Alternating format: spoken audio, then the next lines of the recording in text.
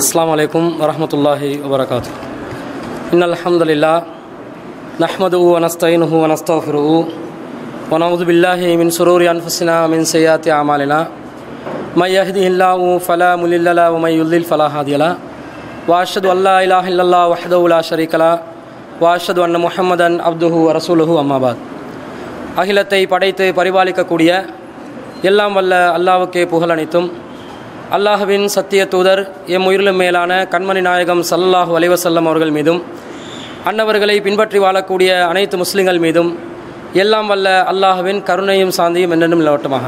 அன்பிற்குரிய அல்லாஹுவின் நல்லடியார்களே புனிதமிக்க ரமலான் மாதத்திலே இரவு தொழுகையை நிறைவேற்றியவர்களாக நாம் எல்லாம் இந்த இடத்திலே அமர்ந்திருக்கிறோம். இந்த அருமையான சந்தர்ப்பத்திலே நவீன வர்த்தக முறைகள் இஸ்லாமிய பார்வை என்ற தலைப்பின் கீழே ஒரு சில செய்திகளை உங்களுக்கு தொடர்ச்சியாக ஏழு நாட்களில் விரிவாக இந்த இஸ்லாமிய சமுதாயத்திற்கு அத்தியாவசியப்படுகின்ற பொருளாதாரம் தொடர்பான சில செய்திகளை எத்தி வைக்கலாம் என ஆசைப்படுகிறேன். இஸ்லாமிய மார்க்கத்தில் அல்லாஹு ரபுல் ஆலமீன் பலவிதமான துறைகளை எங்களுக்கு தெளிவுபடுத்தியிருக்கிறார்.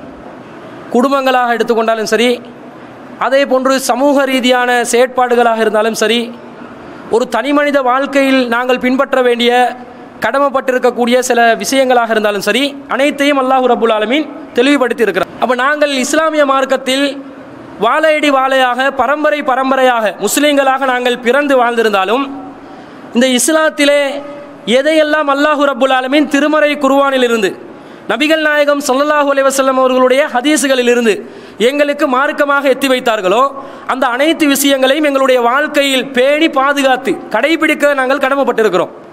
அந்த வகையில் ஒரு குடும்ப ரீதியாக நாங்கள் கையாள வேண்டிய எங்களுடைய கடமைகள் உரிமைகளை புரிந்து வைத்திருக்கக்கூடிய நாங்கள் தனி மனித வாழ்வில் ஒரு மனிதன் இறைவனுடைய நெருக்கத்தை பெறுவதற்குரிய வழிகள் என்று இஸ்லாம் எதையெல்லாம் தெளிவுபடுத்திருக்கிறதோ அதை புரிய புரிந்து வைத்திருக்கக்கூடிய நாங்கள் பொருளாதாரம் சம்பந்தப்பட்ட சில விஷயங்களில் ஒரு அலட்சிய போக்கில் அல்லது விளங்காதவர்களாக அல்லது விளங்குவதற்கு முயற்சி செய்யாதவர்களாக நாங்கள் இருந்து கொண்டு இருக்கிறோம் ஆனால் ஒருவர் எப்படி சாப்பிடுவது மிக முக்கியமான அத்தியாவசிய தேவையாக இருக்கிறதோ உடை அணிவது ஒருவருக்கு எப்படி மிகவும் முக்கியமான அத்தியாவசியமான தேவையாக இருக்கிறதோ அதைவிட பல மடங்கு அத்தியாவசியமான தேவை என்னவென்று சொன்னால் மறுமையில் வெற்றி தரக்கூடிய விதத்தில் எங்களுடைய இந்த உலக வாழ்க்கையில் பொருளாதாரத்தை நாங்கள் அமைத்துக் கொள்ள வேண்டும். ஏண்டா பொருளாதார அவர்களுடைய தேவைகளை நிறைவேற்றுவதற்காக சம்பாதிக்கக்கூடியவர்களாக உழைக்கக்கூடியவர்களாக இருக்கிறார்கள். இந்த நிலையில் தங்களுடைய உழைப்பு சரியான முறையில் அமையாவிட்டால் இது இவர்களுடைய இம்மை வாழ்க்கையில் ஒரு அளவுக்கு திருப்திகரமாக ஆடம்பரமாக கவர்ச்சிகரமாக வாழ்வதற்குரிய வாய்ப்பை அமைத்தாலும் கண்டிப்பாக மறுமையிலே அது சம்பந்தமாக அல்லாஹ் ரபுல் ஆலமீன் பல கேள்விகளை எழுப்புவான். அந்த நேரத்தில் எங்களுடைய உழைப்பில் ஹராமானவைகள் கலந்திருந்தால் அல்லது இஸ்லாமிய மார்க்கம் தடை செய்யப்பட்டிருந்த பல அம்சங்கள் உள்ளடக்கப்பட்டிருந்தால் அதை உண்டவர்களாக அதை குடித்தவர்களாக அதை அனுபவித்தவர்களாக நாங்கள் மறுமையில் இறைவனை சந்திக்கின்ற நேரத்தில் இறைவன் கேட்கின்ற கேள்விக்கு நாங்கள் பதில் சொல்லும் போது தெரியாமல் பண்ணிட்டோம் சொல்ல முடியாது. ஏனென்று சொன்னால் நபிகள் நாயகம் சல்லா அலைவசல்லம் அவர்கள் இந்த பொருளாதார விஷயத்தில் மறுமையில் ஒவ்வொருவரும் கேள்வி கணக்குக்கு உட்படுவார்கள். அந்த நேரத்தில் எல்லா கேள்விகளுக்கும் பதிலளித்தே ஆக வேண்டும் என்பதை இஸ்லாத்தில் எங்களுக்கு தெளிவுபடுத்திருக்கிறாங்க. அப்போ அல்லாஹு ரபுல் ஆலமின் கேட்கக்கூடிய கேள்விகளுக்கு பதிலளிக்கக்கூடிய விதத்தில் எங்களுடைய இம்மை வாழ்க்கையில் அனைத்து அம்சங்களையும் இஸ்லாமிய மார்க்கம் பரிபூர்ணமாக காட்டப்பட்ட அந்த வழிமுறைகளில் நாங்கள் கடைபிடித்து எங்களுடைய துவாக்களும் அங்கீகரிக்கப்படக்கூடிய விதத்தில் இந்த பொருளாதாரத்தை நாங்கள் அமைத்து கொண்டால்தான் மறுமையில் வெற்றி பெற முடியும் என்பதை முதலிலே நாங்கள் பதிவு செய்ய கடமைப்பட்டிருக்கிறோம். அல்லாஹ் ரபுல் ஆலமீன் இந்த மார்க்கத்தில் எல்லா துறையும் தெளிவுபடுத்தினான். எல்லா விஷயங்களையும் எங்களுக்கு பூர்ணமாக சொல்லிட்டான். ஆனால் நம்மில் சிலர் என்ன செய்கிறாங்கன்னு சொன்னால் சில விஷயங்களில் மாத்திரம்தான் இந்த மார்க்கத்தை கடைப்பிடிக்கிறதுக்கு முயற்சி செய்வாங்க. எது தங்களுக்கு சாதகமானதாக இருக்குமோ எது தங்களுக்கு இலகுவானதாக இருக்குமோ எது தங்களுக்கு கூடுதலான வருமானத்தை ஈட்டி தருமோ அந்த விஷயங்கள் மார்க்க ரீதியாக இருக்கும் என்று சொன்னால் அதை தலைக்கு மேல் வைத்து கடைபிடிப்பதற்கு முன் வருவார்கள். எது தங்களுக்கு பாதகத்தை ஏற்படுத்துமோ எது கடைபிடிப்பது சிரமமாக இருக்குமோ எது கடைபிடிப்பதனால் தங்களுக்கு பல நஷ்டங்கள் ஏற்படுமோ அதை வந்து துறந்து வாழ்வதற்கு தன்னை விட்டு ஒதுக்கிக் கொள்வதற்கு தான் மனிதன் முயற்சி செஞ்சு கொண்டிருப்பதை இந்த உலகத்தில் நாங்கள் பார்க்குறோம். இது இந்த காலத்தில் உள்ள மக்கள் மத்தியில் மட்டும் கிடையாது. ஆரம்ப காலங்களில் நபிகள் நாயகம் சல்லா அலையம் அவர்களுக்கு வாழ்ந்த முன் வாழ்ந்த சமுதாயங்களில் கூட இந்த நிலை இருக்கத்தான் செஞ்சு. சுவைப் அலை சலாத்து அல்லாஹ் ரபுல் ஆலமீன் ஒரு சமுதாயத்துக்கு தூதராக அனுப்புகிறான் மதியன் வாசிகளுக்கு அந்த சமுதாயம் செல்வத்தில் மிகவும் செழிப்பாக வாழ்ந்த ஒரு சமுதாயமாக இருந்தார்கள். அல்லாஹ் எந்த அளவுக்கு அவங்களுக்கு பறக்கத் செஞ்சான்னு சொன்னா அவர்கள் அனைவருக்கும் சுவைப் அலை இஸ்லாமே சொல்லுவாங்க பக்கியத்துல்லாயி ஹைருல்லக்கும் அல்லாஹ் உங்களுக்கு எதை லாபமாக தந்திருக்கிறானோ அல்லாஹ் எதை சேமிப்பாக உங்களுக்கு தந்திருக்கிறானோ அது உங்களுக்கு மிகவும் சிறந்ததாக இருக்கிறது என்று சுவைப் அலை இஸ்லாமே செய்வா சொல்லுவாங்க. ஆனால் அந்த சமுதாயம் என்ன பண்ணாங்க தெரியுமா? அளவு நிறுவையில் மோசடி செஞ்சாங்க. அவங்க அளந்து கொடுக்கறதுல நிறுத்து கொடுக்கறதுல மோசடி செய்யக்கூடிய ஒரு சமுதாயமாக இருந்தார்கள். இதற்காக தண்டனையை வேற அனுபவிச்சாங்க. அல்லாஹு தாலா பூகம்பத்தால் தாக்கி ஒரு சமுதாயத்தை அழிக்கக்கூடிய அளவுக்கு பொருளாதார ரீதியாக யாரெல்லாம் தடம் புரண்டு வாழ்ந்தார்களோ அல்லாஹ்வுடைய மார்க்க கட்டளைகளை பச்சையாக மீறினார்களோ அவர்களை அழிக்கக்கூடிய விதத்தில் அல்லாஹ் தண்டிக்கக்கூடிய விதத்தில் அந்த அம்சத்தை அல்லாஹ் பார்த்தார் என்று சொன்னான். அந்த பொருளாதார மெட்டரில் நாங்கள் ரொம்ப கவனமாக இருக்கணும். அதே நேரத்தில் மனித சமுதாயம் இதில் அலட்சிய போக்கில் இருப்பாங்கன்றதை நாங்கள் புரிஞ்சு கொள்ளணும். அவங்க கேட்குறாங்க எப்படி கேட்குறாங்கண்டா யா ஷுவைப் அசலாத்துக்க தாமுருக்க அன் நத்துருக்கமா யாபுது ஆபாவுனா? சுவைபே நீ வந்து நாங்கள் பொருளாதார விஷயத்தில் சரியான விஷயங்களை கடைப்பிடிக்கணும் என்று கட்டளை இடுகிறாயே இந்த கட்டளை உன்னுடைய தொழுகை தான் ஏவுகிறதா? பொருளாதாரத்தை சரியாக பண்ணணும்ன்றீங்களே நீங்கள் தொழுகிற தொழுகை தான் இது எங்களுக்கு தடுக்குதா? நீங்க பிரார்த்தனை செய்றீங்களா? அந்த இறைவன் தான் இதை தடை செய்ய சொல்லி சொல்றானா? கேட்டு சொல்றாங்க. இதே போது அந்த இந்த பொருளாதாரம் மட்டும் இல்ல அந் நத்துருக்கமா யாபுது ஆபாவுனா அவ் அன் நஃபாலஃபி அம்பாலினா மாஷா. நாங்கள் விரும்பின மாதிரி எங்களுடைய பொருளாதாரத்தை செலவிடுவதையும் எங்களுடைய கடவுள்களை வணங்காமல் நாங்கள் விட்டுவிட வேண்டும் என்று சொல்வதற்கும் நீங்கள் தொழுற தொழுகை தான் ஏவுதா? என்று கேட்டாங்க. எங்கட தொழுகை வந்து ஏவுதா இல்லையான்றது எங்களுக்கு சந்தேகமாக தான் இருக்குது. நாங்கள் தொழுந்து அல்லாஹ் அக்பர். அவுது பில்லாஹி மினஷ் ஷைத்தானிர் ரஜீம். கொஞ்சம் இமாம் வந்து நீட்டமாக தொழுதுட்டாருன்னு வைங்க. பின்னுக்கு இருக்கிறவன் வந்து மனசுக்குள்ளால பதுவா வேற சொல்கிறான் ஃபாத்தியாக்கு பிறகு பதுவா செய்கிறான் ஏன்னு சொன்னால் இவர் ரொம்ப நீட்டுறாரு தொழுகையை. சிலவங்க சுஜூதிலே தூங்குறாங்க. ஏன் தூங்குறாங்க? தொழுகை கொஞ்சம் நீட்டமாக போகுது. இது கியாமுல்லையில் இரவு நேரத்தில் தொழக்கூடியவங்களை கொஞ்சம் பார்த்தீங்கன்னு சொன்னால் அந்த கூத்து கொஞ்சம் விளங்கும். என்ன மாதிரி? ஹுஷுவோட தொழுகிறாங்கன்னு ஹுஷு எல்லாம் இங்கே கிடையாது. எல்லாம் வந்து அவசரத்தில் தொழுறாங்களே தவிர ஒரு நிதானம் நிறுத்தி நிதானமாக இறை நெருக்கத்தை பெறக்கூடிய விதத்தில் இல்லை. ஆனால் நபிமார்கள் என்ன எப்படி பார்த்தாங்க நபிமார்களே? அவங்களுடைய இபாதத்தை வச்சு இவ்வளோ பர்ஃபெக்டாக இபாதத் செய்கிறது தான் இவன் வந்து பேணுதலாக அவங்களுக்கு நடக்க சொல்லி சொல்கிறதுக்கு கட்டளை இடுது என்று சொல்கின்ற அளவுக்கு பிற சமுதாயங்கள் முன் சென்ற சமுதாயங்கள் கேள்விகள் எழுப்புகிற அளவுக்கு நபிமார்களுடைய தனிப்பட்ட வாழ்க்கை கூட மிகவும் சிறப்பானதாக இருந்திருக்குது. அப்போ என்ன சொல்ல வர்றோம்டா பொருளாதார விஷயத்தில் நாங்கள் கவனமாக இருக்க வேண்டும். ஆனால் சமுதாயங்கள் கவனமாக இருக்காது. சமுதாயங்கள் அந்த விஷயத்தில் பேணி பாதுகாப்பாக நடக்க மாட்டாங்கன்றது நாங்கள் விளங்குறோம். ஆனால் அல்லாஹ் எப்படி எதிர்பார்க்குறான்னு சொன்னால் நீங்கள் உங்களோட பொருளாதாரமாக எதை வைத்திருக்கிறீர்களோ அதை தூய்மையானதாக ஆக்கிக்கொள்ளுங்க பொருளாதாரம் என்ற பேரில் எல்லாத்தையும் சம்பாதிக்க கூடாது. எல்லாம் வார வருமானம் என்று சொல்லி எல்லாத்தையும் அனுபவிக்க கூடாது. கிடைக்கிற காசு தானே என்று சொல்லி எல்லாத்தையும் அமைக்கி வச்சிடக்கூடாது சேமித்து வச்சிடக்கூடாது. தூய்மையானவற்றை தான் நாங்கள் என்ன செய்யணும்? சாப்பிட வேண்டி இறைவன் எங்களுக்கு கட்டளை இருக்கிற இட்டு இருக்கிறத நாங்கள் பார்க்குறோம்.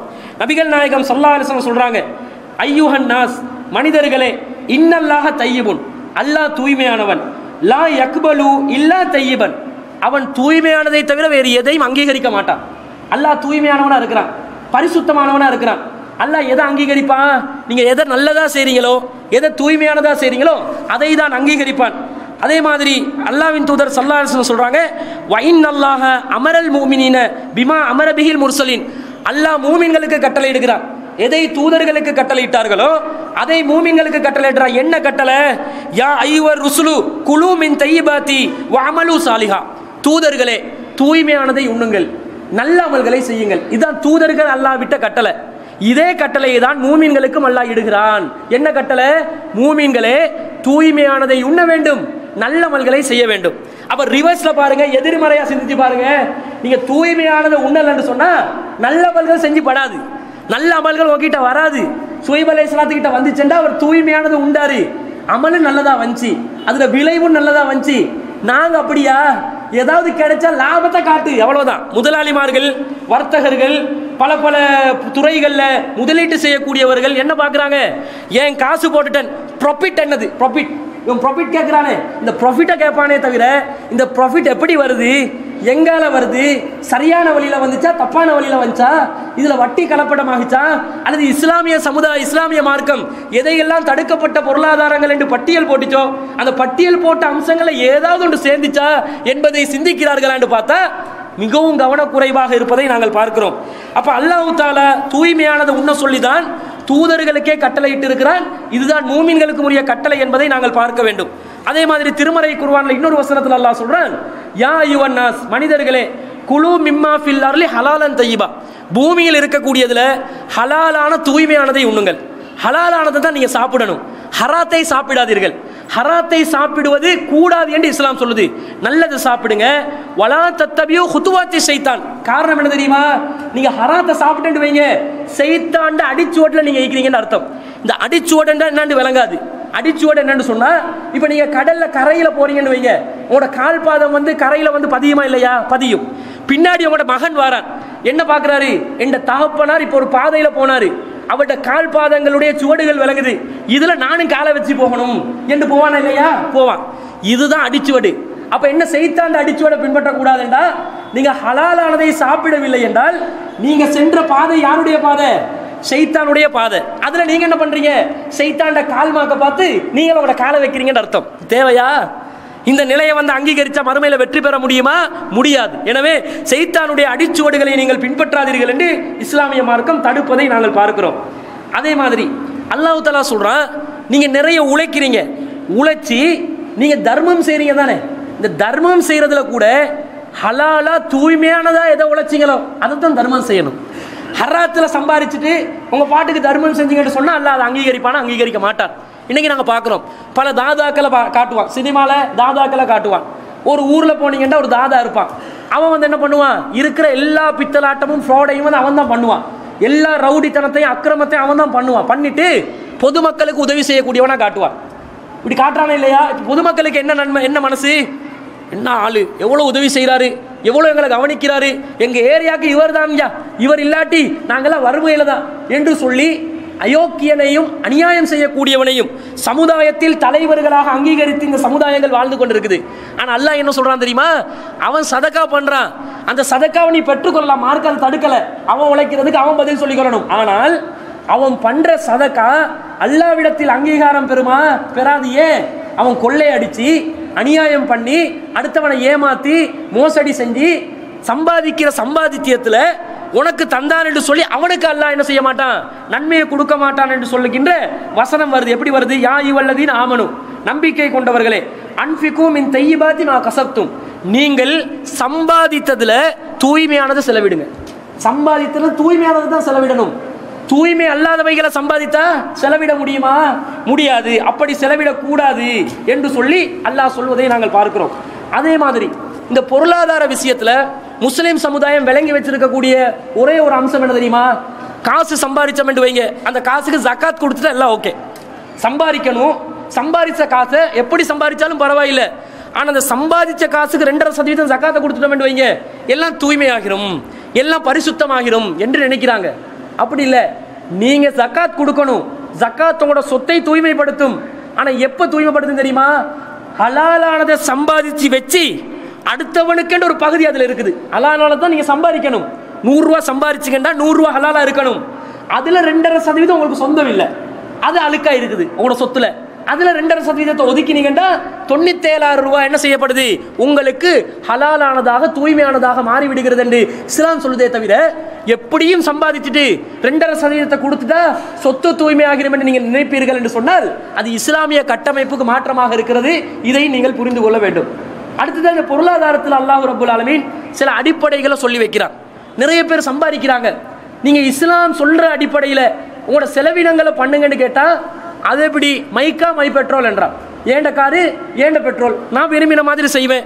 விரும்பின மாதிரி சம்பாதிப்பேன். விரும்பின மாதிரி செலவழிப்பேன். அதை கேட்க நீ யாரு? என்ற மாதிரி சில கேள்விகள் முஸ்லீம் சமுதாயத்தில் இருப்பவர்கள் எழுப்புறாங்க. அவங்க என்ன புரியலை தெரியுமா?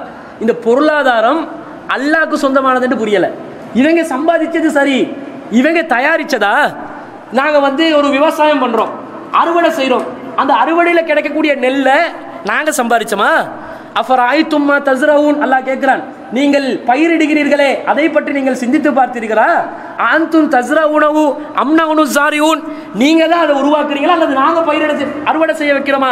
நாங்கள் உற்பத்தி செய்கிறோமா நீங்கள் உற்பத்தி செய்கிறீங்களா எல்லாம் கேட்குறா யார் உற்பத்தி செய்கிறா உலகத்தில் இருக்கக்கூடிய மிக பெருமதியான மிக மிக மிக உயர்ந்த தரமான ஒரு பொருள் இருக்கும் என்று சொன்னால் நாங்கள் சாப்பிட்ற சாப்பாடு தானுங்க அரிசி தானுங்க. ஆனால் உலகத்தில் காதவே மனுஷனுக்கு கணக்கெடுக்காத விலை மதிப்பே இல்லாத விலை வைக்கிறதாக இருந்தால் கட்டுப்பாடு விலை கூட போடக்கூடிய ஒரு பொருளாக இந்த அரிசியை வச்சிருக்கிறான். இது பெரிய அநியாயம். ஏண்டா யாரெல்லாம் விவசாயம் பண்ணுறானோ அவன் தான் களத்தில் இறங்குறான். சேத்த மிதிக்கிறான். கஷ்டப்படுறான். இரவு பகல் பாடுபடுறான். பாடுபட்டு அரிசியை கொண்டாந்து வச்சா நெல்லை வச்சா இவனுக்கு விலை வைக்கிறான். எவ்வளோ விலை? நீ வந்து நூ நூறு ரூபாவை தாண்டி விற்கக்கூடாது. சம்பா வந்து எழுபது ரூபா தாண்டி விற்கக்கூடாதுன்ட்டு அரசாங்கம் விலை வைக்குது. சிகரெட்டுக்கு விலை வைக்கிறானா? அல்லது அங்கர் மாவுக்கு விலை வைக்கிறானா? கேஸுக்கு இவன் விலை வைக்கிறான் அரசாங்கம் விலை வைக்கிறானா வைக்க மாட்டான். எதுக்கு விலை வைக்கிறான்? எது அத்தியாவசிய பொருளாக இருக்குதோ அதுக்கு அரசாங்கம் விலை வைக்குது. எது மனுஷனை நாசமாக்குற பொருளாக இருக்குதோ அதுக்கு அந்தந்த கம்பெனி தான் விலை வைக்குது. நீங்க நினைக்கிறீங்களா கேஸை வந்து அரசாங்கம் சொல்லி தான் கேஸ் விலை வைக்கிறான்ட்டு? ஒன்றும் கிடையாது. அவன் செல் கேஸ் கம்பெனிக்காரன் முடிவு எடுக்கிறான் எனக்கு எனக்கு தேவை. ஏண்ட டிமாண்ட் சப்ளையை வச்சு நான் விலையை தீர்மானிப்பேன்? என்று தீர்மானிக்கக்கூடிய ஒரு அராஜகம் வேற இதில் நடக்குது. அப்போ நாங்கள் என்ன விலைக்கு கொள்ளணும் வேண்டாம் இந்த விவசாயிகளுக்கு ஒரு தனி முக்கியத்துவம் இஸ்லாத்தில் இருக்குது. ஆனால் அவங்க தான் நிறைய இந்த ஹெரோயின் வியாபாரம் செய்யக்கூடியவங்க பொருளாதாரத்தில் செழிப்பான ஒரு நிலையை அடைஞ்சு அவங்க ரொம்ப பெரிய தனவந்தர்களாக வாழுவாங்க. விவசாயி வந்து இன்னும் கோமணத்தோட தான் இருக்கிறான். கோமணத்தோட வந்து ஆர்ப்பாட்டம் பண்ணாங்களா இல்லையா? கொழும்பு இந்த புறக்கோட்டையில் ஸ்டேஷனுக்கு முன்னாடி கோமணத்தோட வந்து விவசாயிகள் ஆர்ப்பாட்டம் பண்ணாங்க. அற அற முழு முழு அம்மன் ஒரு அஞ்சு சதவீதம் தான் ஆட மேல. என்னத்தை சொல்ல வந்தாங்க? எங்களோட வாழ்க்கை இப்படிதான்டா இருக்குது. எப்படி நாங்கள் நிர்வாணமாக இருக்கிறோமோ எங்களோட பொருளாதாரமும் நிர்வாணமாகத்தான் இருக்கிறது. எங்களுக்கு ஒரு மோட்சம் இல்லையா?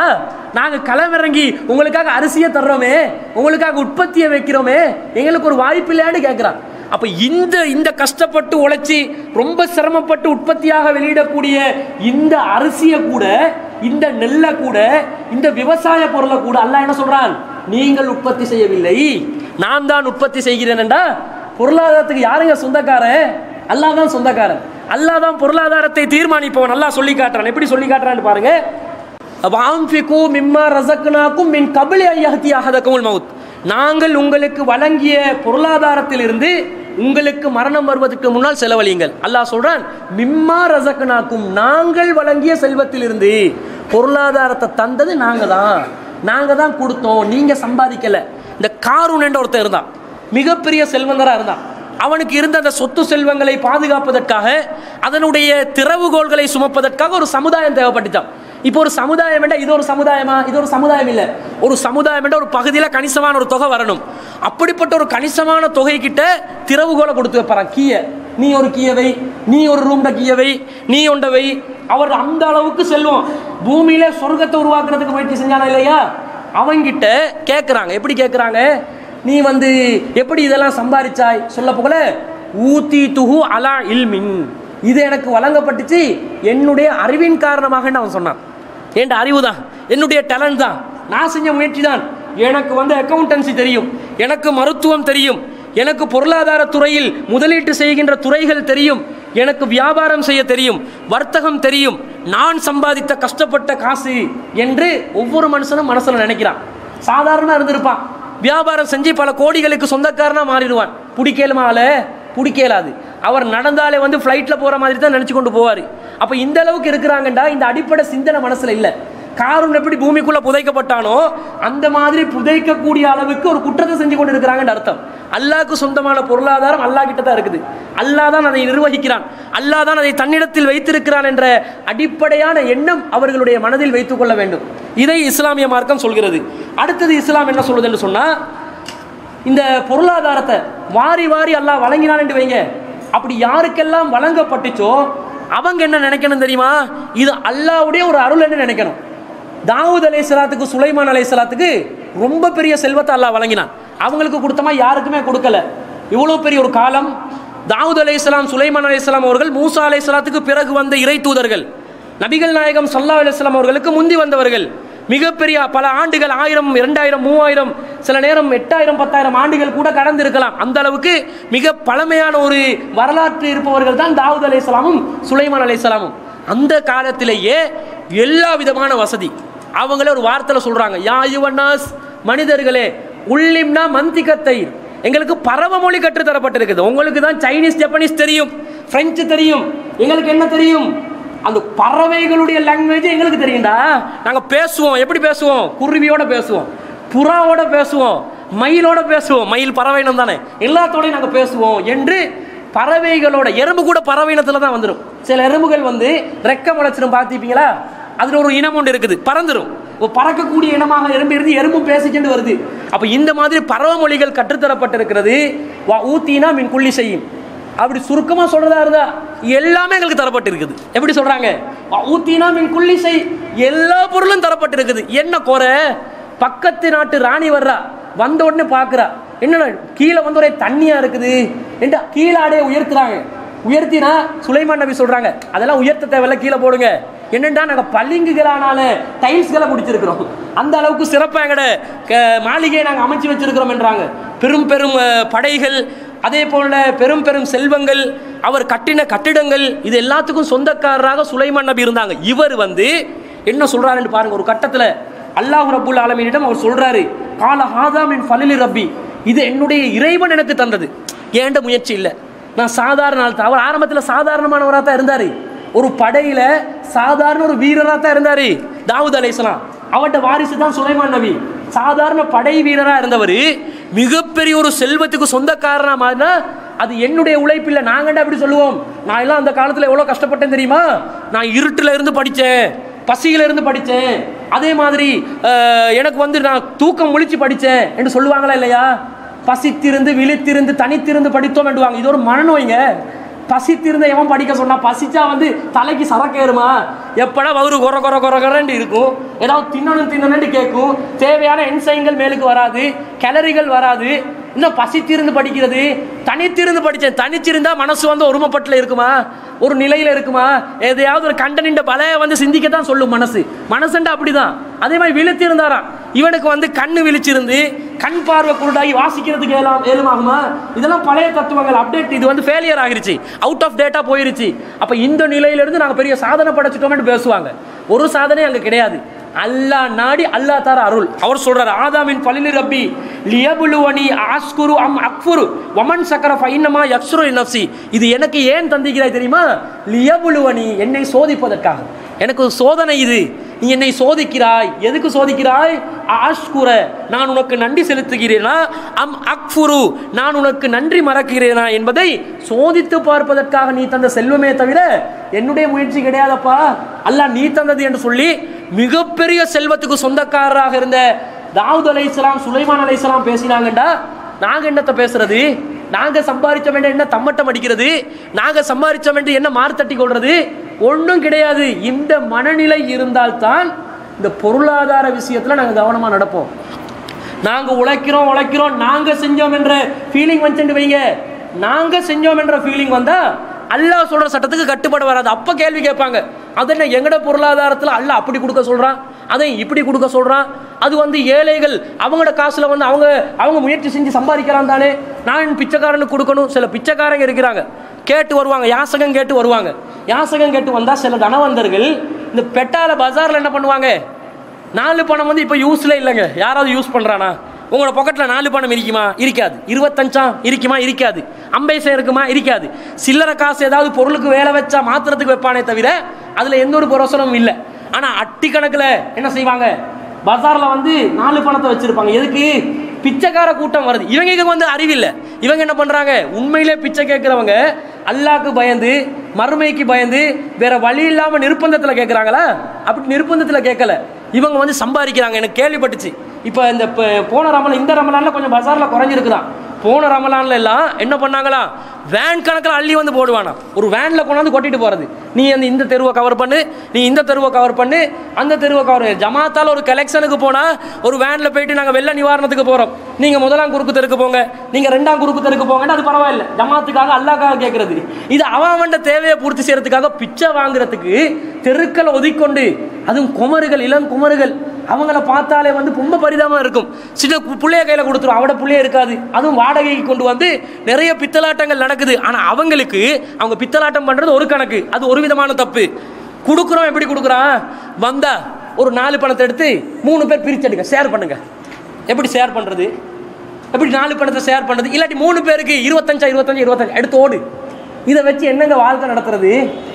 இந்த மாதிரி சில அவல நிலைகள் இருக்குது. கொடுக்குறவங்க தாராளமாக கொடுக்கணும். ஏண்டா ஃபாமஸ் சாயில ஃபலா தன்ஹர். யாசிப்பவர்களை விரட்டாதீர்களே நல்லா சொல்கிறான் அதையும் அல்லாஹ் வந்து மார்க்கத்தில் தடுத்து இருக்கிறான் அதே நேரத்தில் பிச்சை கேட்குறவங்க அவங்களோட நிலையும் வந்து கொஞ்சம் கவனமாக பார்த்து கொள்ள வேண்டும். அப்போ என்ன சொல்ல வர்றோம்டா? இந்த பொருளாதாரம் முழுக்க முழுக்க அல்லாட கையில் இருக்கக்கூடிய அல்லாவுடைய ஒரு அருள். நபிகள் நாயகம் சல்லா அலுவலம் அவர்கள் ஒரு முறை வீட்டிலேருந்து வெளியே வராங்க. வந்த நேரத்தில் நபித்தோழர்கள் ரெண்டு பேர் இருக்கிறாங்க. தெருவில். யார்? அபுபக்கர் அலி அல்லாவன் அவர்களும் உமர் அலியல்லான் அவர்களும் ரசூல் சல்லா அலுவலம் கேட்குறாங்க என்னங்க ஏன் நீங்கள் வெளியாகினீங்க மா அஹ்ரஜகுமா மிம்பு யூத்திக்குமா ஏன் உங்களுடைய வீட்டிலிருந்து ஹாதிகிஸ்ஸா இந்த நேரத்தில் எது உங்களை வெளியேற்றியது? இரவு நேரத்தில் ரொம்ப ஜாமமாக போயிருச்சு. அந்த நேரத்தில் எதுங்க வெளியே வந்தீங்கன்னு கேட்குறாங்க ரசூல் சல்லா அலிஸ்லாம் கேட்டோன்னு இவங்க சொல்கிறாங்க யார் ரசூல் அல்லா எது எங்களுக்கு வெளியே வந்துச்சுன்னு சொன்னால் அல் ஜூ பசி தான் எங்களை வெளியேற்றுச்சு அபுபக்கர் அலிலானும் ரொம்ப பெரிய செல்வந்தராக தான் இருந்தார். உமர் அலியலானும் ரொம்ப வர்த்தகத்தில் ரொம்ப திறமசாலியாக தான் இருந்தார். நபி சல்லா அலிஸ்லாம் அவங்களும் ரொம்ப செல்வந்தர்களாக தான் இருந்தாங்க. வாம்மா நாங்கள் உங்களை வறுமையில் கண்டோம்.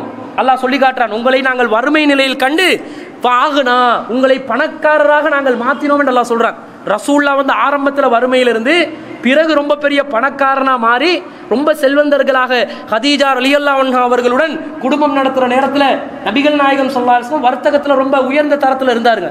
அது அவங்கள திருமணமும் பண்ணாங்க. பிறகு ரொம்ப செழிப்பான ஒரு வாழ்க்கையில் வாழ்ந்தவங்க. இவ்வளவு செழிப்பாக இருந்தவங்க. இஸ்லாத்தை கடைப்பிடித்து ரொம்ப காலம் பின்தங்கிய பிறகு அவங்க வறுமையில் பசியின் காரணமாக வெளியே போகிறாங்க அப்போ அவங்கள பார்த்து கேட்குறாங்க எதுக்காக நீங்கள் வெளியே வந்தீங்கன்னு கேட்டால் பசி தான் ரசூல் சல்லாஹ் சொல்கிறாங்க வல்லதி நஃப்சி பியதிஹி. லா அஹ்ரஜனி அல்லதி அஹ்ரஜகுமா எங்க என்ன எது வெளியேற்றிச்செண்டா உங்களை என்ன காரணத்தை நீங்கள் உங்களை வெளியேற்றிச்சோ அதுதான் என்னையும் வெளியேற்றிச்சென்றாங்க எனக்கும் பசி தான் வேற வழி இல்லை. வீட்டில் சாப்பிட்றதுக்கு சாப்பாடு இல்லை. ஒரு அன்சாரி தோழர் வராரு. மூணு பேர் இந்த டைம்ல என்ன ரவுண்ட் அடிக்கிறாங்க? மூணு பேருக்கு அநேகமாக பசியாக தான் இருக்கணும்னு சொல்லி வீட்டில் போயிட்டு இவங்களை கவனிக்கணும் என்று சொல்லி அவங்க யோசிக்கிறாங்க. நபி ஸல்லல்லாஹு கூட அந்த அன்சாரிட வீட்டை தான் நாடி போகிறாங்க ஏன்னா அவர் கொஞ்சம் விருந்தாளிகள் கவனிக்கக்கூடிய ஒருத்தராக இருந்திருப்பார் போல. பொதுவாக எங்களோட சமுதாயத்திலையும் பார்ப்போம் சிலவங்களை என்னதான் நாங்கள் வேணான்னு சொன்னாலும் ஒரு டீயாவது குடிச்சிட்டு போங்க. என்று வற்புறுத்துறவங்க இருப்பாங்க. இன்னைக்கு இரவு சாப்பாடு நீங்கள் சாப்பிட்டு தான் போகணும். என்று வற்புறுத்துறவங்க இருப்பாங்க. அந்த மாதிரி ரொம்ப பெருந்தன்மையாக நடக்கக்கூடிய ஒருத்தராக இருந்து அவர் கேட்குறாரு ரசூலா வீட்டுக்கு போகிறாங்க அவர் நபித்தோழர் இருக்கலை. எங்கே போனாருன்னு என்னென்ன தேவைகளை பூர்த்தி செய்கிறதுக்காக போயிருக்கிறாரு. பிறகு அவங்க வர்றாங்க வந்து கேட்குறாங்க எதுக்கு அல்லாவின் தூதரை என்ன நிலைமை? ரொம்ப கஷ்டத்தில் இருக்கிறீங்க போலன்னு சொல்லி ரெண்டு பேருக்கும் மூணு பேருக்கும் சேர்த்து அவரும் சேர்ந்து ஒரு ஆட்டை வந்து சாப்பாடாக கொடுத்து எல்லாரும் சாப்பிட்றாங்க. சாப்பிட்டு ரொம்ப பசியான நிலையில் ஏப்பம் முட்டுட்டு என்ன சொல்கிறாங்க அதிசல ஏப்பம் முட்டது வந்துச்சான்னு கேட்கக்கூடாது அது அந்த முடிச்சுட்டு என்ன கேட்குறாங்கன்னா ரசூல் சொல்லான்னு சொல்கிறாங்க வல்லதி நஃப்சி பியதிஹி. என்னுடைய உரி உயிர் எவனுடைய கைவசத்தில் இருக்கிறதோ அந்த இறைவன் மீது சத்தியமாக லத்துஸ் அலுன்ன அன்ஹாதன் நைமி யௌமல் கியாமா. அல்லாவின் மீது சத்தியமாக இந்த அருட்கொடையை பற்றி நீங்கள் மறுமையில் விசாரிக்கப்படுவீர்கள். எதை பற்றி பசி பட்டினியில்.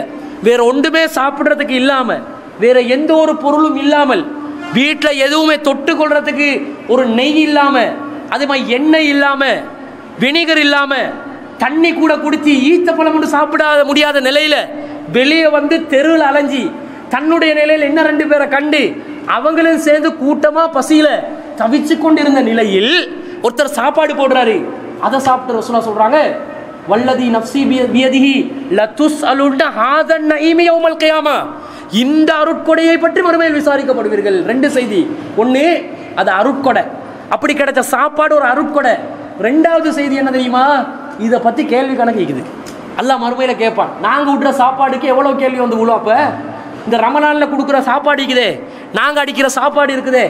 ரமலான் நோம்பு திறந்த நேரத்தில் இருந்து அப்படி சகர் நேரம் வர காட்ட நாங்கள் போடுற இந்த டயட்டை மட்டும் எடுத்து கணக்கு பார்த்தோம்னு சொன்னால் எங்களோட வாழ்நாள் பூரா நாங்கள் செஞ்ச அமல் வந்து பாலா போகிற அளவுக்கு சாப்பிட்றோம்.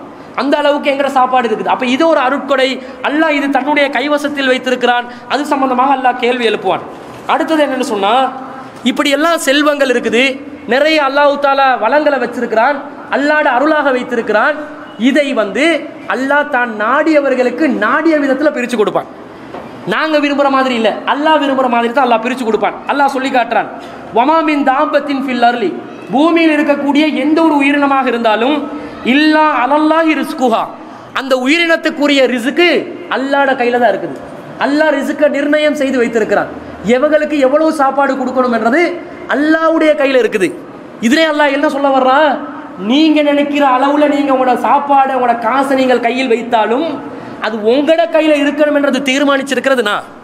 தீர்மானத்தை டிசிஷன் அங்கே அல்லாஹ் எடுத்திருக்கிறான். அதே மாதிரி இன்னொரு வசனத்தில் அல்லாஹ் சொல்கிறான் அல்லாஹூ யபுசுத்து ரிஸ்கல் இமையசா மின் இபாதிஹி வயக்திர் லஹு. அல்லாஹ் தன்னுடைய அடியார்களில் சிலவர்களுக்கு நாடிய மாதிரி தாராளமாக செல்வத்தை கொடுக்குறான். சிலருக்கு என்ன பண்ணுறான்டா குறைச்சி செல்வத்தை கொடுக்குறான். அது அல்லாஹ் தீர்மானிக்கிறது. நல்ல பட்ட படிப்பு படித்தவங்களுக்கு மிகப்பெரிய செல்வம் இருக்காது. நல்ல நுணுக்கமான அறிவுள்ளவங்களுக்கு மிகப்பெரிய செல்வம் இருக்காது. சாதாரண ஒரு கைநாட்டு பேர் வழியாக இருப்பார். ஆனால் வியாபாரத்தில் முதலீடு செஞ்சு மிகப்பெரிய செல்வந்தர்களாக தனவந்தர்களாக சமுதாய அந்தஸ்துள்ளவர்களாக மாறி இருப்பாங்க இது அல்லாஹ் அவங்களுக்கு செஞ்ச ஒரு அருள். அல்லாஹ் தீர்மானிக்கிற பொருளாதாரம். அப்ப இந்த அடிப்படை கன்செப்டுகள் எல்லாத்தையும் எங்களோட மனசுல வச்சு தான் நாங்க உலகத்துல வாழணும் என்றது இஸ்லாம் சொல்லுது. இது ஒழுங்கா புரியலைன்னு வைங்க இஷ்டத்துக்கு வாழ்ந்துருவாங்க. இஷ்டமான மாதிரி நடப்பாங்க. அல்லாஹ் வந்து கேள்வி கேட்டாலும் கேட்காட்டாலும் பரவாயில்லன்னு சொல்லி மறுமை மறந்தவர்களாக வாழக்கூடிய ஒரு சூழ்நிலை உருவாகிடும் அப்ப அல்லாஹ் தாலா சொல்லக்கூடிய இந்த பொருளாதாரம் அல்லாஹ் வழங்கினாலும் இருக்கக்கூடியவங்க இதற்காக முயற்சி செய்ய வேண்டும். இதற்காக உழைக்க வேண்டும் இதற்காக பாடுபட வேண்டும் என்றும் இஸ்லாமிய மார்க்கம் சொல்வதை நாங்கள் பார்க்கிறோம். அல்லாஹ் சொல்றான் ஃபைதா குளியத்து சலாத். தொழுகை முடிந்தவுடன் ஃபந்தசிரு ஃபில்லருள். நீங்கள் பூமியில் தாராளமாக சுற்றித் திரியுங்கள். வபுத்தகும் மின் ஃபலலில்லா. அல்லாவுடைய அருளை தேடுங்கள் என்று அல்லாஹ் சொல்றான். உழைக்கணும். அல்லாஹ்ற கையில தான் ரிசுக்கு இருக்குது. அல்லாஹ் நாடினமாய் தருதன் தருவான். அல்லாஹ் நினைச்சவங்களுக்கு கூடையா கொடுப்பான். நினைச்சவங்களுக்கு குறைய குறைவாக கொடுப்பான் என்று சொல்லி உழைக்காமல் யாருக்குமே இருக்க முடியாது. உழைக்கணும். உழைத்து வாழணும். சிலவங்க சொல்லுவாங்க அது உங்களோட சாப்பாடுக்கு என்ன பண்ண போறீங்க? அல்லாஹ் பார்த்துக்கொள்வான். உங்களுடைய எதிர்காலத்துக்கு என்ன பண்ண போறீங்க? அல்லாஹ் பார்த்துக்கொள்வான். இந்த தவக்கல் தப்பான ஒரு அடிப்படையில் கொண்ட ஒரு தவக்கல் இறைவனை சார்ந்து இருக்க வேண்டும். இறைவன் தருவான் என்ற நம்பிக்கை இருக்க வேண்டும். ஆனால் அதற்காக முயற்சி செய்யக்கூடியவர்களாக உழைக்கக்கூடியவர்களாக பாடுபடக்கூடியவர்களாக நாங்கள் இருக்க வேண்டும் என்றது இஸ்லாமிய மார்க்கம் சொல்லுது. ரசூலா சொல்றாங்க லாய் யாஹுத அஹதக்கும் ஹபுலஹு சும்ம யாதுவா அஹசிபுஹு. ஒருவர் தன்னுடைய கயிறை எடுத்து அவர் என்ன செய்கிறார்? இளல் ஜபலி அவர் ஒரு மலையை நோக்கி செல்கிறார். சென்று ஃபயஹ்ததிப விறகுகளை சுமக்கிறார். விறகுகளை சுமந்து ஃபயபி அந்த விறகுகளை விற்று ஃபயாக்குல அதனூடாக சாப்பிட்டு வயத்தசத்தக்க அதை சர்மம் செய்கிறார். ஒருவர் கயிறு தான் அவருக்கு ஒரு மூலதனமாக இருக்குது. வேற ஒன்றுமே மூலதனம் இல்லை. அவர் கயிறை எடுத்து மலையை நோக்கி சென்று விறகுகளை சுமந்து அதை விட்டு சாப்பிட்டு சதக்கா செய்கிறார். இது எந்த அளவுக்கு சிறந்ததுன்னு என்று சொன்னா ஹைருல்லவு மின் ஐ நாஸ். மனிதர்கள்கிட்ட பிச்சை கேட்குறத விட இது அவருக்கு மிகவும் சிறந்ததுன்னு நபிகள் நாயகம் சொல்லாரு சொல்கிறாங்க உழைங்க கயிறு கயிறொண்டை வச்சு விறகு சுமந்தாவது உழைங்கன்றாங்க இஸ்லாத்தில். சும்மா இருந்து ஓசியில் இருந்து ஏசியில் இருந்து வேலை பார்க்கறது அதுக்காக வேண்டி சம்பாதிக்கிறது சும்மாவே இருந்து வீட்டில் இருந்து காசு வரும் என்று எதிர்பார்க்கறது இஸ்லாம் தப்புன்னு சொல்லுது. உழைக்கணும். ஒரு ஆட்டோவை எடுக்கிறீங்களா? ஓடுங்க. நீங்கள் ஒரு பேமெண்ட்டில் வந்து வியாபாரம் பண்ணுறீங்களா வியாபாரம் பண்ணுங்கள் டைகோட் அடிச்சு தான் ஆஃபீஸில் இருக்கணுமென்றதை எதிர்பார்க்காதீங்க. உழைங்க கஷ்டப்பட்டு உழைங்க. கூடுதலாக சம்பாதிக்கணும் என்று கஷ்டப்படாமல் நீங்கள் நீங்க சம்பாதிக்கணும்னு நினச்சிட்டு வைங்க. தப்பான வழிகளை நீங்கள் தானாக தேட ஆரம்பிப்பீங்க. உடனடியாக பணக்காரன் ஆகணும்னு நினைச்சா தப்பான வழிகளை தானாக தேட ஆரம்பிச்சிருவீங்க. அந்த நிலை இல்லை. கஷ்டப்பட சொல்லுது அடிமட்டத்துல இருந்து கஷ்டப்படுங்க. சிரமப்படுங்க இஸ்லாமிய மார்க்கம் சொல்லுது. அதுக்காக எங்கட சமுதாயத்தில் தலைவிதி ஆட்டோ ஓடுறது தான் எங்கட சமுதாயத்தில் தலைவிதி பேமெண்ட்ல வியாபாரம் பண்ணுறது தான் எங்களுக்கு வேற வழி இல்லைன்னு சொல்லி சும்மா இருந்துடக்கூடாது. ஏன்னு சொன்னால் கல்வி விஷயத்தில் நாங்கள் பின்தங்கினோம் என்று வைங்க. அறிவு விஷயத்தில் புத்துணர்ச்சி விஷயத்தில் சில நுணுக்கமான விஷயங்களில் பின்தங்கின நிலையில் நாங்கள் இருந்தோம்டா எங்களை பிற சமுதாயங்கள் அடக்கி ஆளுவாங்க. பிற சமுதாயங்களோட ஆதிக்கத்துக்கு கீழே நாங்கள் வந்துடுவோம் இப்போ மத்திய கிழக்கு நாடுகளில் இருக்கக்கூடிய அரபியர்களுக்கு அல்லாஹ் வந்து ஒரு செல்வத்தை கொடுத்தான். எதை கொடுத்தான்? பெட்ரோலை தாராளமாக வள்ளி கொடுத்தான். நாங்கள் தோண்டினா தண்ணி வரும் தாராளமாக இலங்கையில். அவங்க தோண்டினா தாராளமாக பெட்ரோல் வருது. அப்போ பெட்ரோல் என்ற செல்வத்தை அல்லாஹ் கொடுத்தான். இவங்க என்ன பார்த்தாங்க? அல்ஹம்துல்லா அல்லாஹ் எங்களுக்கு செல்வத்தை தந்துட்டான். பெட்ரோலை தந்துட்டான். இன்றைக்கு அதுதான் மிகப்பெரிய ஒரு வர்த்தகத்தில் நல்ல லாபம் ஈட்டு தரக்கூடிய ஒரு துறையாக இருக்குது. தாராளமாக கிணறு கிணறா தோண்டி பெட்ரோலை வச்சிருக்கிறான். எனவே நாங்கள் இனி கஷ்டப்பட தேவையில்லைன்னு சொல்லி தூங்குறானா இல்லையா? நல்லா தூங்குறான். சிந்திக்கிறானா? ஒரு அரபி ஒருவர் ஒரு இன்ஜினியராக உருவாகி அவர் இந்த உலகத்துக்கு விஞ்ஞான துறையில் ஒரு சாதனை படைத்ததாக ஏதாவது ஒரு ஆதாரம் காட்டலுமா? காட்டலாது. ஏன் காட்டலாது? திட்டி மாடுகளாக தான் இருக்குது. இலங்கையில் மட்டும் எல்லாம் படிக்கிறாங்கன்னு கேட்டால் இங்கேயும் படிக்கலை. இங்கே கொஞ்சம் குறிப்பிட்ட ஆட்கள் கொஞ்சம் பேர் என்ன செய்கிறாங்க படிக்கிறாங்க. அது எதுக்காக படிக்கிறாங்கன்னு சொன்னால் அதை வருமானத்தை ஈட்டுக்கொள்றதுக்கு வேறு வழி இல்லாமல் படித்தால்தான் உண்டு. வரதட்சணை வாங்குவதற்கு சீதனம் எடுப்பதற்கு எதிர்காலத்தில் நாங்கள் ஒரு துறையிலிருந்து ஏதாவது ஒன்று சம்பாதிச்சு போகிறதுக்காக வேண்டி படிக்கிறாங்களே தவிர சமுதாயத்தை பாதுகாக்கிற நோக்கத்தில் படிக்கக்கூடியவர்களை பார்க்க முடியலை. அப்போ இவங்க என்ன நிலைக்கு தள்ளப்பட்டுட்டாங்கன்னு சொன்னால் பிற சமுதாயங்களில் ஆதிக்கத்துக்கு உள்ளாகிட்டாங்க. அமெரிக்கா தான் இன்றைக்கு அரபு நாடுகளில் பொருளாதாரத்தை தீர்மானிக்கிறாங்க. அமெரிக்கா இஸ்ரேல் போன்ற நாடுகள் தான் அரபு நாடுகளில் பொருளாதார விஷயத்தில் ஆதிக்கம் செலுத்துறாங்க. காரணம் இவர்களிடம் செல்வம் இருந்தது கல்வி தொழில்நுட்பம் இருக்கவில்லை. பிற சமுதாயங்கள் இவர்களை ஆதிக்கம் செலுத்தக்கூடிய நிலைக்கு மாற்றிவிட்டார்கள். அமெரிக்கா வானா இஸ்ரேல் வானான்னு நாங்கள் சொல்லலாம். அவன் சொல்லுவானா? சொல்ல மாட்டான். இங்கே நீங்கள் கொக்கா கோலாவை புறக்கணிப்பீங்க. அவன் பெரிய கம்பெனி அடித்து வச்சுக்கிறான் மக்கால. மக்களாக இருக்குது கம்பெனி அப்போ எது காரணம்? ஆதிக்கம் பொருளாதார ரீதியான ஆதிக்கத்துக்கு சிக்கினார்கள். காரணம் உழைக்கவில்லை பாடுபடவில்லை சம்பாதிக்கவில்லை. ஏதோ கிடைச்ச வளத்தை வச்சு பரம்பரை சொத்தாக அது நடக்குதே தவிர கிடைச்ச வளத்தை பாடுபடக்கூடியவர்களாக அவர்கள் மாற்றிக்கொள்ளவில்லைன்றத விளங்குது. அதே மாதிரி நபிகள் நாயகம் சல்லாலிசம் சொல்றாங்க மா அக்கல அஹதுன் தாமன் கத்து. ஒருவர் ஒரு நாளும் இப்படி ஒரு சாப்பாடு சாப்பிட்டு இருக்க மாட்டார். எப்படி? ஹைரன் அது சிறந்ததாக இருக்கும். மின்னை யாக்குல மின் அமளி அதிகி தன்னுடைய கரத்தால் உழைத்து சாப்பிட்டு ஒருவர் வந்து திருப்தி அடைகிறாரே இதை விட ஒரு சிறந்த செல்வம் இருக்கவே இருக்காதுன்றாங்க. நீ பாஸ் மேசன் பாஸ் வேலை பாரு. நீ கரண்டி எடு சிமெண்ட்டை பிடி. நீ விவசாயியாக சேத்துல காலை வெயி ஆனால் அதுல கிடைக்கிற திருப்தி எதுலையும் கிடைக்காது. எந்த அளவுக்குன்னு சொன்னா நபி அல்லாஹி தாவூத் அலைஹிஸ்ஸலாம் தாவூத் அலைஹிஸ்ஸலாம் அவர்கள் கான யாக்குலுமின் அமளி அதிகி இவ்வளோ பெரிய செல்வந்தர்களா இருந்தாலும் அவங்க உழைச்சி தான் சாப்பிட்டாங்க. அவங்க அவங்களோட கரத்தால் பாடுபட்டு தான் சாப்பிட்டாங்க. சும்மா இருந்து சாப்பிடவில்லை என்று நபிகள் நாயகம் சல்லாஹன் சொல்றாங்க. இன்னொரு செய்தியில வருது நபிகள் நாயகம் சல்லாஹூ அலைவசல்லம் அவர்களுடைய காலத்தின் நபித்தோழர்கள் எந்த அளவுக்கு இருப்பாங்கன்னு சொன்னால் கான அஸ்ஹாபு ரசூல் இல்லாய் சல்லா அலையம் உம்மால் அன்புசியும் அவர்கள் தங்களை உழைக்கக்கூடியவர்களாகவே ஆக்கி கொண்டார்கள். உழைத்து சாப்பிடக்கூடிய நிலையில்தான் சஹாபாக்கள் இருந்தார்கள். எப்படி என்று சொன்னால் வக்கான யக்கூனுலகும் அர்வா. அவர்களிடமிருந்து வேர்வை வாடை வெளியே வரும். பக்கத்தில் இருந்தால் நபித்தோழர்கள் கிட்ட வேர்வை துர்நாற்றமாக வெளியே வருமா? சிலவங்க நம்மள இருக்கிறாங்க. குளிக்காம துர்நாற்றம் அடைச்சி அது வேற விஷயம். குளிக்காம கிட்ட வந்து நின்றக்கூடாது.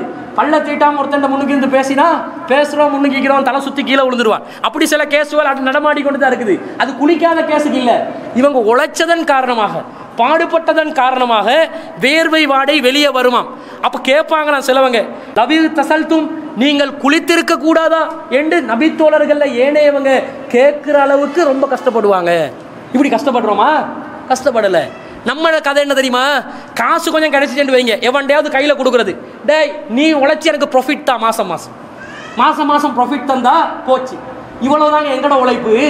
நம்ம ஆட்கள் பிஸ்னஸ் பண்ணுறாங்க இன்சால அடுத்தடுத்த நாட்களில் இந்த வர்த்தகம் என்ற பேரில் நிறைய கூத்து பண்ணுறாங்க அதை ஒவ்வொன்றா விலாவாரியா விளக்க இருக்கிறோம். அப்போ அதில் வந்து மிகப்பெரிய முக்கியமான ஒரு ஆயுதமாக என்ன பயன்படுத்துகிறாங்க கையில் காசை கொடுத்து மாதம் மாதம் ப்ராஃபிட்டை தந்துரு.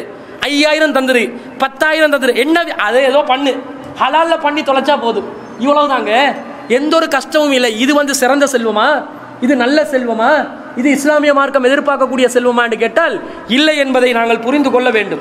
அப்போ நபிகள் நாயகம் சல்லா அலைஹி அவங்க உழைக்க சொன்னாங்க. காரணம் என்னென்னு சொன்னால் அல்லாட கையில் பொருளாதாரம் இருந்தாலும் அல்லாத தருறதுக்கு ஒரு சபபெல்லாம் ஏற்படுத்தணும். அந்த சபபுக்காக வேண்டி தான் நாங்கள் என்ன செய்யணும்? பாடுபட்டு உழைக்கணும். இல்லை என்று சொன்னால் இந்த பொருளாதாரம் எங்களை இறை நிராகரிப்புக்கு கூட இட்டு செல்லலாம் என்றாங்க. வறுமை வந்துச்சுண்டு வைங்க. ரொம்ப கஷ்டமான நிலை வந்துச்சுண்டு வைங்க. இன்றைக்கி நிறைய பேர் மதமாற்றம் செய்யப்படுறாங்க. பௌத்த மதத்துக்கு முஸ்லீம்கள் ஒரு சிலர் போகிறாங்க கிறிஸ்தவ மதத்தை தாராளமாக அங்கீகரிக்கிறாங்க. சிறுவர்கள் பராமரிப்பு இல்லாட்டியும் போகிறாங்க பெரியவர்கள் வறுமை இருந்தாலும் போகிறாங்க இப்படி போகிறதுக்கு காரணம் என்ன தெரியுமா? இந்த வறுமை தான்.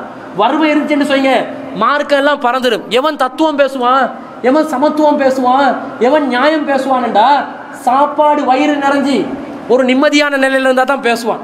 ஒன்றுமே பண்ணலன்னு வைங்க கொள்கை பறந்துடும் கொள்கையை கடைபிடிக்க முடியாது. பசி பட்டினியில கொள்கை ஒருத்தன் கடைபிடிப்பானண்டா? அவன் உண்மையான கொள்கைவாதி. ஆனால் அந்த நிலை சமுதாயத்தில் காண முடியவில்லை. அப்ப இறை நிராகரிப்புக்கு கூட இந்த வறுமை வந்து இட்டு செல்லலாம் என்று நபிகள் நாயகம் சொல்ல சொல்றாங்க. காதல் ஃபக்ரு ஐயா குஃப்ரா. வறுமை உங்களை இறை நிராகரிப்பின் பான் அழைத்து செல்லும் என்று நபி சொல்லான்னு சொல்றாங்க. இன்னொரு செய்தியில அல்லாஹ் இன்னி அவுது பிக்க மினல் குஃப்ரி வல் ஃபக்ர். இறைவனே குஃபுரை விட்டும் வறுமையை விட்டும் என்னை பாதுகாத்துரு என்று ரசூல் சல்லா அலைஹி துவா துஆ கேட்கக்கூடியவங்களா இருப்பாங்கன்னு ஹதீஸ் வருது. ஏன்னா குஃபுர் வர்றதுக்கு அடுத்த கட்டமாக என்ன காரணம் அமையும்? வறுமை அமையும் என்பதை நாங்கள் புரிந்து வைத்திருக்க வேண்டும். அப்போ இஸ்லாமிய மார்க்கம் இந்த செல்வத்தை வச்சு நீங்க வறுமைக்கு போயிடாதீங்க வறுமைக்கு போயிட்டு குஃபுருக்கு போயிடாதீங்கன்னு சொல்லி கவனமா இருக்குமாறு இஸ்லாம் சொல்லுது. அதே மாதிரி நீங்க உழைச்சி நிறைய காசு வந்துச்சுன்னு வைங்க அது உங்களுக்கு சோதனையா மாறிடும். நிறைய காசு இருக்குது. என்ன பண்ணணுமென்று தெரியாது. என்ன எப்படி செலவழிக்கணுமென்று தெரியாது. என்ன முடிவெடுக்கணுமென்று தெரியாது. இது ஒரு சோதனையாக கூட அல்லாஹ் மாத்திருவான். ஆரம்பத்தில் ரொம்ப கொள்கை பிடிப்பு உள்ளவங்களா ஒருத்தர் வாழ்ந்திருப்பார். ஆனால் காசு நல்லா கிடைச்சிட்டு வைங்க அதுக்கு பிறகு அதை என்ன விரலாட்டுறது அப்படின்னு கேட்பான். ஆரம்பத்தில் விரல் நல்லா ஆட்டிப்பார். நெஞ்சில் தக்பீர் நெஞ்சு கலண்டு போடுற மாதிரி பிடிச்சிருப்பார். ஆனால் காசு கொஞ்சம் கூடியாக வந்துச்சுன்னு வைங்க கொஞ்சம் ஒரு மாதிரியாக இருக்குதே அப்படின்டுவான் நெஞ்சில் தக்பீர் கட்டுறது ஒரு மாதிரியாக இருக்குது அது தௌவி ஜமாத்துன்றது ஒரு மாதிரியாக இருக்குது இப்படி பேச ஆரம்பிப்பான். ஏன்டா? செல்வம் கூட கூட மார்க்கப்பற்று கொள்கை உறுதி எல்லாம் அப்படியே கலண்டு போயிடும் இஸ்லாமிய மார்க்கம் இதை பற்றி திருமறை குருவான்ல அல்லாஹ் தஆலா சொல்லி காட்டுறான். வாழமு அன்னமா அம்பாளுக்கும் அவுலாதுக்கும் ஃபித்னா. உங்களுடைய குழந்தைகளும் உங்களுடைய பொருளாதாரமும் உங்களுக்கு சோதனை தான் கன்ஃபார்மாக சோதனை இருக்குதுங்க. நிறைய பேர் சம்பாரித்து பெரிய கோடீஸ்வரன் ஆகணும்னு துவா செய்யுங்க. அதுக்காக இலக்கு வச்சு சம்பாரிங்க. உழைச்சி வாழுங்க. சிலவங்க வெளிநாட்டிலே வாழ்க்கையை கழிக்கிறாங்க உழைக்கிறதுக்காக வேண்டி. சிலவங்க உழைக்கிறதுக்காக வேண்டி தினசரி கம்ப்யூட்டர்லேருந்து இருந்து பாடுபடுறாங்க பாடுபடுங்க. ஆனால் அது ரொம்ப ஓவராக வந்து உங்களை ஆள்ற நிலைக்கு கொண்டு வந்துடாதீங்க. அது உங்களுக்கு சோதனை அமைஞ்சு அதுவே உங்களை மார்க்கப்பற்ற குறைச்சி இஸ்லாத்தை விட்டு வெளியேற்ற அளவுக்கு கொண்டு போய் சேர்த்து சேர்த்து விடலாம். எனவே அதில் கவனமாக இருக்க வேண்டும் என்பதை நாங்கள் புரிஞ்சுக்கொள்கிறோம் அல்லாஹ் சொல்கிறான் நீங்கள் வியாபாரத்தில் இருக்கணும் நீங்கள் உழைக்கணும் நீங்கள் பாடுபடணும் அல்லாட மார்க்கத்தை அல்லாவுடைய அருளை நீங்கள் தேடணும். ஆனால் அல்லாவுடைய நினைப்பு உங்களை என்ன செஞ்சிடக்கூடாது? அதை விட்டு உங்களை கவனம் திருப்பிடக்கூடாது. நீங்கள் வியாபாரம் செய்கிறதுனால அல்லாட நினைப்பை விட்டு நீங்கள் திசை திரும்பிடக்கூடாது. வியாபாரம் செய்கிறதுனால அல்லாவுடைய மார்க்கப்பற்ற விட்டு நீங்கள் திசை திரும்பிடக்கூடாது. அல்லாஹ் சொல்லி காட்டுறான். ரிஜானுல்லா துல்லிஹிம் திஜாரத்துன் வலா பைகுன் அந்திக்கிறில்லா சில ஆண்கள் இருக்கிறார்கள் மனிதர்களில் சிலர் இருக்கிறார்கள். அவர்களுடைய வியாபாரமும் அவர்களுடைய கொடுக்கல் வாங்குதலும் அல்லாஹ்வுடைய நினைவை விட்டும் அவர்களை திசை திருப்பி விடாது. கொடுக்கல் வாங்கல் சரியாக பண்ணுவாங்க. வியாபாரத்தில் கட் அண்ட் ரைட்டாக இருப்பாங்க. அல்லாட நினைவில் சரியாக இருப்பாங்க. அல்லாட நினைவுனா குருவான் ஓதுறதுல சரியாக இருப்பாங்க. தொழுறதுல சரியாக இருப்பாங்க. மார்க்க விவகாரங்களில் சரியாக இருப்பாங்க. கொள்கையை கடைப்பிடிக்கிறதுல சரியாக இருப்பாங்க. அல்லாஹ் எதையெல்லாம் தன்னுடைய நினைவாக அறிவுரையாக தன்னுடைய திக்கராக வைத்திருக்கிறானோ அந்த அனைத்து விஷயங்களிலும் சரியான முறையில் இருந்து யார் மார்க்கத்தை கடைபிடிக்கிறார்களோ அவர்களுக்கு தான் அல்லாவிடத்தில் அந்த பரிசு இருக்குது என்று அல்லாஹ் சொல்வதை நாங்கள் பார்க்கிறோம். அப்போ என்ன நிலைமைன்னு சொன்னால் இன்றைக்கு சில பேர் மார்க்கப்பட்டுள்ளவங்களாக இருக்கிறாங்க. ஆனால் அவங்கக்கிட்ட உழைப்புக்கான முயற்சி இல்லை. பிஸ்னஸில் திறமை இல்லை தேர்ச்சி இல்லை. சிலவங்க பிஸ்னஸில் நல்ல உறுதியானவங்களாக இருக்கிறாங்க. ஆனால் மார்க்கப்பட்டு இருக்குதா மார்க்கப்பட்டு இல்லை ரெண்டும் வந்து முரண்பாடாக நிற்கிது எல்லாம் எப்படி எதிர்பார்க்குறான்? நீ மார்க்கப்பட்டுள்ளவனா இரி உழைக்கிறவனாவும் இரி. உமர் அலி எல்லாம் என்ன பண்ணாங்க? ஒரு நாளைக்கு உழைப்பாங்க. ஒரு நாளைக்கு ரசூலோட சபைக்கு போவாங்க. நாள் பிரித்து வச்சாங்க. முந்நூற்றி அறுபத்தஞ்சு நாளில் அரைவாசி வருடத்தில் அரைவாசி நாட்கள் என்ன பண்ணுவாங்க? ரசூல்லா கிட்ட மார்க்கத்தை படிக்க போவாங்க. ஒரு நாள் ரசூல்லா கிட்ட மார்க்கத்தை படிக்க போனால் அடுத்த நாள் வியாபாரத்துக்கு போயிடுவாங்க மார்க்கமும் இருக்கணும் வியாபாரமும் இருக்கணும். ரெண்டையும் சேர்த்து வர்த்தகத்தோடு நீங்கள் மார்க்கத்தோடு சேர்ந்து வர்த்தகம் செய்வீர்கள் என்று சொன்னால் அது உங்களை இந்த உலகத்திலையும் உங்களை செல்வந்தர்களாக மாற்றிவிடும். மறுமையிலும் இறைவனுடைய நெருக்கத்தை பெறக்கூடியதாக ஆக்கும். ஏனண்டா செல்வம் வந்துச்சுன்னு வைங்க. ஹஜ்ஜு செய்யலாம் உம்ரா செய்யலாம் ஜகாத் கொடுக்கலாம் தர்மம் கொடுக்கலாம் அனாதைகளை பராமரிக்கலாம் ஏழைகள் மிஸ்கீன்களுக்கு உதவி செய்யலாம் குடும்பத்தை கவனிக்கலாம் சமுதாய பணிகளுக்கு சொல்லலாம் சதகத்துள் ஜாரியா கொடுக்கலாம் எவ்வளவு வேலை பண்ணலாம். செல்வம் சொத்து இருந்தா நிறைய நன்மைகள் அடையிறதுக்கு இஸ்லாத்துல வாய்ப்புகள் வாசல்கள் திறக்கப்பட்டிருக்குது. அப்ப அதை வச்சு நாங்கள் பயனடையணும் என்று சொன்னால் என்ன செய்யக்கூடாது? நாங்கள் மார்க்கப்பற்றவர்களாக மார்க்கப்பட்டவர்களாக அதை ஆக்கிக்கொள்ளக்கூடாது என்று நபிகள் நாயகம் சல்லா அலிஸ்லாம் அவங்க சொல்கிறத பார்க்குறோம். எப்படி சொல்றாங்கன்னா தைசா அப்து தீனார் வத்திருகம் வல் கத்தீஃபத்தி வல் ஹமீசத்தி. யாரெல்லாம் பொற்காசுக்காக வெள்ளி காசுக்காக கமீஸ் என்று சொல்லக்கூடிய ஒரு ஆடம்பர விதமான ஒரு ஆடைக்காக கம்பளி ஆடைகளுக்காக வேண்டி அடிமையாக இருக்கிறார்களோ அவர்கள் நாசமடைந்து விட்டார்கள். பொற்காசுக்கு அடிமைகளாகி விடாதீர்கள். தங்கத்துக்கு அடிமைகளாக கூடாது. வெள்ளிக்கு அடிமையாக கூடாது. ஆடம்பரமான ஆடைகள் கம்பளிகளுக்காக வேண்டி அடிமைகளாகிவிடக் கூடாது அப்படி அடிமையானா நீ நாசமாகிவிட்டாய் உனக்கு நிற மோட்சம் கிடையாது. நீ வெற்றி பெற மாட்டாய் என்று நபிகள் நாயகம் சல்லா அலிஸ்லாம் அவங்க சொல்கிறாங்க அதே மாதிரி இன்னொரு செய்தியில் ரசூலா மா மாதிபானி ஜாயானி உருசிலாஃபி ஹனமின் பி அஃசத் அலஹாமின் ஹிர்லி ஹிர்சில் மருஇ அலல் மாலி வ சரஃபில் தீனிஹி. ஒரு பசியோடு இருக்கக்கூடிய ஒரு ஓ- ரெண்டு ஓனாயை ஆட்டு மந்தைக்கு அனுப்பினா எவ்வளவு வேகமாக அந்த ஆடுகளை சாப்பிட்டு விடுமோ அதைவிட வேகமாக காசுக்கு அடிமையாகி செல்வத்துக்கு அடிமையாகி யார் இருப்பானோ அவனுடைய மார்க்கப்பட்டதை நாசமாக்கி விடும் நபிகள் நாயகம் சொல்லா சொல்கிறாங்க இப்போ உழைங்க உழைச்சி உழைச்சி அதில் மூழ்கினேன்னு வைங்க. நாசமாக போயிடுவீங்க அந்த நாசத்தை நாங்கள் என்ன செய்யக்கூடாது? ஏற்படுத்தி கொள்ளக்கூடாது என்பதை இஸ்லாம் சொல்வதை நாங்கள் பார்க்குறோம். அப்போ இந்த மாதிரி பொருளாதார விஷயத்தில் அல்லாக்கு தான் பொருளாதாரம் சொந்தம். அல்லாஹ் தான் பொருளாதாரத்தை நிர்வகிக்கிறான். அல்லாஹ் நாடியவர்களுக்கு கொடுக்குறான். அல்லாஹ் விரும்பின மாதிரி தான் செலவழிப்பான். ஹலாலான முறையில் சாப்பிடணும். ஹலாலில் இருந்து செலவழிக்கணும். ஹலாலானவற்றை முயற்சிக்கணும். யாசகம் கேட்கக்கூடாது பிச்சை வாங்கக்கூடாது தன்னை சுயமரியாதையை பாதுகாக்கணும். ஆனால் வியாபாரத்தில் தேர்ச்சி பெற்றவர்களாக இருக்கணும். அல்லாட அருளை தேட பாடுபடணும். சோம்பேறிகளாக இருக்கக்கூடாது. இதை எல்லாமே இஸ்லாம் உள்ளடக்கி இப்படிப்பட்ட ஒரு நிலையில் நீங்கள் சம்பாதிக்கிற பொருளாதாரத்தில் கலப்படம் இல்லாமல் தூய்மையாக அலால வச்சு நீங்கள் சாதிச்சிங்கன்னு வைங்க. அதுவே மறுமையில் வெற்றிக்குரிய ஒரு வாய்ப்பாக அமைந்து விடும் என்று நபிகள் நாயகம் சொல்ல சொல்றாங்க. ஏன் இந்த காலத்துக்கு இது தேவைன்னு கேட்டால் இந்த காலத்தில் ஹராம் என்னன்னு விளங்குதில்லை ஹலால் என்னன்னு விளங்குதில்லை. அப்படி இப்படி உன் பேரை சொல்லுவாங்க. அந்த இந்த பேரை சொல்லி வட்டி என்று சொன்னால் தெளிவாக வட்டி என்ன விளங்கும்? முவாரபா என்று சொன்னால் உங்களுக்கு விளங்குமா? முஷாரக்கா சொன்னால் விளங்குமா? முராபகா என்று சொன்னால் விளங்குமா? இஜாரா என்று சொன்னால் விளங்குமா? சலமெண்டா விளங்குமா? சமனண்டா விளங்குமா? அடிச்சு விட்டுருவான். நீங்க பார்ப்பீங்க அரபு சொற்கள் வருகிறது. ஆணு அனுமதிக்கப்பட்டதாக இருக்கும். சரியா வங்கி சரியா வாங்கி என்றுவான் அது சரியா பிழையாண்டு இப்போ பேச போகிறோம் சரியா வாங்கி சரியா வாங்கி என்று நிறைய வங்கிகளை உருவாக்கி வச்சிருக்கிறான். அது சரியா பிழையா? எங்களுக்கு தெரியலையே. ஆனால் என்ன பண்ணுவாங்க? சில பேரை கொண்டாந்து கூட்டத்தை வைப்பாங்களா? பெரிய பெரிய தலப்பாக இருக்குமா? பெரிய ஜுப்பா இருக்குமா? ஆஹூன்ட்டு பேசுவாங்க. எப்படி பேசுவாங்க? அல்ஹம்து வேண்டுவாங்க. எல்லாம் முழுந்துருவாங்க அல்ஹம்து சொல்லிட்டாரே. சரியாக தான் சொல்கிறாரா இருக்கும் அட அல்ஹம்து சொன்னது சரி. எதுக்கு சொல்லணும் அதுக்கு சொன்னானா? சாப்பிட பக்கம் அல்ஹம்து சொல்லி சாப்பிட்டா சரி வருமா? விஸ்வி சொல்லி சாப்பிடணும் மாற்றி சொல்லிட்டாரு. பார்க்கணும். எங்கே கலப்படம் இருக்குது? எங்கே மிக்சிங் ஆகுது? பதுக்கல் எங்கே இருக்குது? வட்டி எங்கே இருக்குது? சூது எங்கே இருக்குது? பித்தலாட்டம் எங்கே இருக்குது? மோசடி எங்கே இருக்குது? ஏமாற்றம் எங்கே இருக்குதுன்னு தெள்ள தெளிவாக நுனிப்புள் மேய்ந்து ஆராய வேண்டிய கடமைப்பாடுகளுக்கு இருக்குது. காரணம் என்ன தெரியுமா? நபி சொல்லாசன் சொல்கிறாங்க லயத்தி அலன் நாசி ஜமானுன். ஒரு காலம் வருங்க அந்த காலத்தில் லா யுபிலியல் மருபிமா அகதல் மால். ஒரு மனிதனுக்கு அவர் பெற்றுக்கொண்ட ஹல- சொத்தை அமின் ஹலாலின் அம்மின் ஹராமின் ஹலாலிலிருந்து பெற்றுக்கொண்டாரா ஹராத்திலிருந்து பெற்றுக்கொண்டாரா என்பதை விளங்காத ஒரு காலம் வரும் என்றார் விளங்காது. எங்கேருந்து வந்துச்சு? எப்படி வந்துச்சு? அலாலா ஹராமான்னு கேட்டால் ஒரே ஒரு பதில் சொல்லுவாங்க. பெரிய பெரிய முஃப்திமார்கள் பத்துவா கொடுத்துருக்குறாங்க. இவ்வளோ தான் பதிலே தவிர நான் சம்பாதிச்சது அலால ஆறாமன்னு நான் தெரிஞ்சுக்கணுமா இல்லையா? ஒன்று ஹராத்தை சரி சம்பாதிங்க ஹராத்தை தான் சம்பாதிச்சேன்னு விளங்கி வச்சிருக்கணுமா இல்லையா? அதையும் விளங்க மாட்டேன்றாங்களே. எது ஹலால் ஹராம் என்று தெரியாத கலப்படமான மிக்ஸான ஒரு சூழ்நிலை ஒரு சமுதாயத்தில் உருவாகும் அந்த நிலை வந்து ஆபத்தானதுன்னு சொல்கிறாங்க சொல்லலாம். எதுக்கு சொல்கிறாங்க இதை? இது ஆபத்து.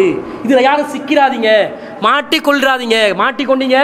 மார்க்க பற்றும் போய் துனியாவும் போய் ஆகிரத்தும் பறி போயிடும் என்றாங்க. எனவே பொருளாதார விஷயங்களில் எதெல்லாம் கலப்படங்களாக வந்து நிற்கிதோ அதை நாங்கள் பிரித்து அறிய வேண்டிய கடமைப்பாடு எங்களுக்கு இருக்குது. தடுக்கப்பட்ட பொருளாதாரம் இதண்டு விளங்க வேண்டிய கடமைப்பாடு எங்களுக்கு இருக்குது. நவீன வர்த்தகம் என்ற பேரில் நிறைய விஷயங்களை ஊடுருவிக்குது சமுதாயத்தில். நுழைச்சி வச்சிருக்கிறாங்க. அரபு பேர்களில் வரும் பேர்கள் மாறி வரும். ரசூலா சொல்கிறாங்க எப்படி சொல்றாங்கடா ல மின் உம்மதி அல் ஹம்ர. என்னுடைய சமுதாயத்தில் சிலர் ப- மதுபானத்தை அருந்துவார்கள் மதுபானத்தை அருந்துவாங்க ஆனா யுசம்மூனஹா பிகைரி இஸ்மிஹா.